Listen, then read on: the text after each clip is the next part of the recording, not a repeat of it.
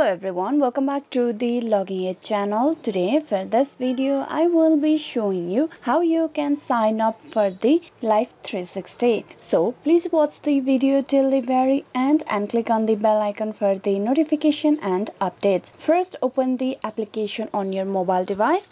Now once you're at the home page, you need to click on get started. There to start out, you need to provide your phone number at first.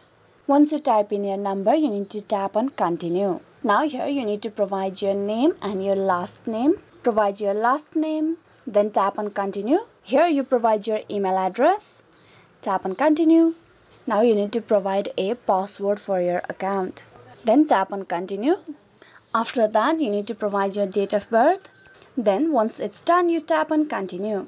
Tap on continue over here now here if you have a circle or if you already have any family member on this app you can just type in your invite code and you will get access. But if you do not have you need to tap on create new circle and you need to provide a name for your circle. You just type in your last name and then family or you can just give a random name for your group chat let's say. Then tap on continue so this will be the invite code for the chat section of yours. If you want to invite any of your family member, you just need to provide this code for them and they will get added with you. So here you need to describe what kind of circle is it. That is your mom, dad, son, daughter, who else is there. You can then add photo or you can just skip this process. Now here you need to provide the location. You need to tap on both allow all the time physical activity allow and then tap on continue now then you here you just need to keep tapping on continue for the forward process. Here you need to add your home address. I'm just gonna skip this process. You can just zoom in or zoom out to find your location and save it as your default home address. Here i'm gonna skip this process. And with that your account for the life 360 is completed.